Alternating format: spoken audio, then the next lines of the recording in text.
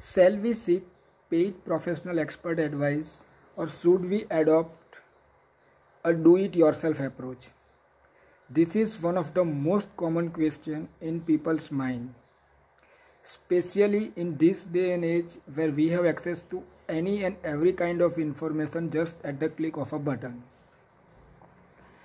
However, one needs to understand that only knowledge and information is not going to give you the desired result. All the information and knowledge needs to be applied in a structured way in order to achieve the desired result. Further, the entire process needs constant monitoring, reviewing, and remedial action.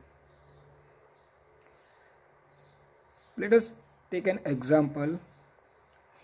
We all know that regular exercise is needed to be physically fit. How many people do you know who do exercise on regular basis and in a structured manner? Very few, right? Now suppose you have hired a personal physical trainer now what are the chances that you are going to do exercise on daily basis what are the chances that you are going to attain the physical fitness?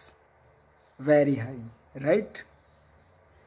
So i believe it is always a good deal seeking professional expert advice as the value you get for the money you spend would be immense. So here is the hack. Always seek uh, professional advice for vital areas of your life like mindset skill set money and health. Remember seeking advice from everyone and no one. Both are sure short ways leading nowhere.